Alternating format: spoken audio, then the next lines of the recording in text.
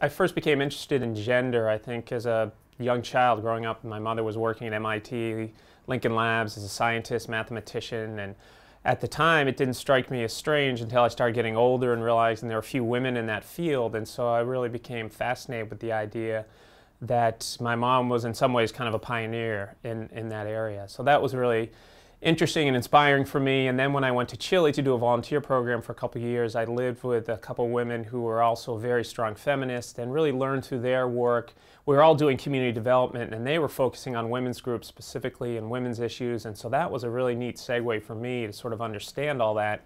Particularly, we're in Chile where it's uh, a sort of culture where it's difficult for men, particularly foreign men, to have access to women in a way that they might sort of share more intimate details and stories about their lives. So that kind of opened my eyes to that aspect. And then when I started doing my research in Guatemala, I was finding similar sorts of barriers where I was doing oral histories and the men would all say, oh, you need to talk to the elder men in the community. That's who they would send me to.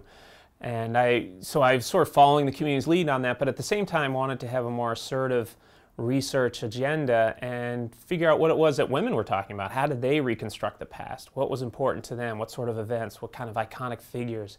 And it was interesting to me how different their stories were, and that they really had a sort of counter narrative that both fit into the broader community narrative, but also told their own stories about what it was like to be a Maya woman, an indigenous woman. Well, one of the things I like to do is to bring my research into the class. Uh, so one of my favorite classes to do is Women and Gender in Latin America.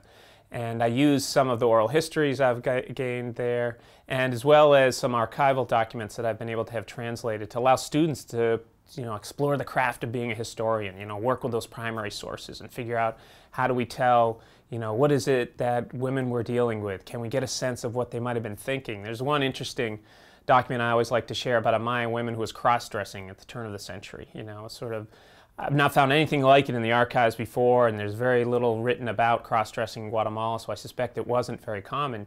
But what you get is, you know, she gives certain reasons about how she wanted to be able to migrate to the coast and earn better pay, which tells you a lot about gender relations and the way in which women didn't have equal access to employment, to wages, to mobility.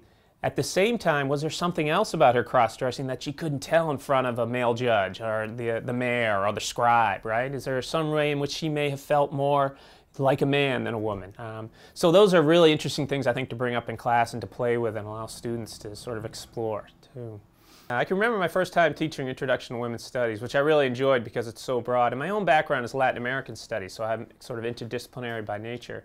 So it was really neat to, to in some ways be freed from necessarily having to look at historical texts and historical sources and now look at much broader cultural and literature, all sorts of other contributions.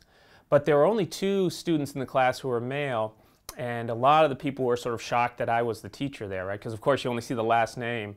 Um, but I found that people were very accepting, and we could sort of, one of the things I like about USM, and particularly the classroom here, is the ability to develop a sense of community where people feel confident sharing their perspectives and ideas, even if they're you know going to argue or debate with someone in the classroom. There's sort of this sense of respect, I think. I mean, gender's everywhere in a way, right? I mean, these sort of it's hard to think about the past history. It's hard to think about the present without thinking about gender. I mean, it's sort of this very primal relationship in many ways. And, and it's very complicated in the sense that it changes in time, it changes in place, it depends where you are. Again, that the idea of taking a, a women and gender studies class, I think it can really help you to think more deeply and maybe reconceptualize a lot of stuff that you're doing in other classes, right? And maybe even where the issue of gender isn't raised, you'll start to see areas where you could raise that in the class, or at least think about it, you know, in terms of how might this affect the sort of scientific experiment if the scientists were women or men, right?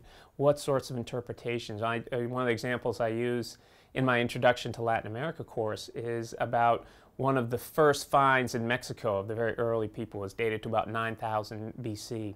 And for many decades, they always called the Tepexpan man. And it wasn't until about 10 years ago they figured out it was actually a woman, right? And, you know, so, so those sorts of things where you had the archaeologists were male, they just assumed what they found must have been a man, right? Um, so I think, you know, it's sort of day-to-day -day activities and interactions, understanding gender relations can be really helpful.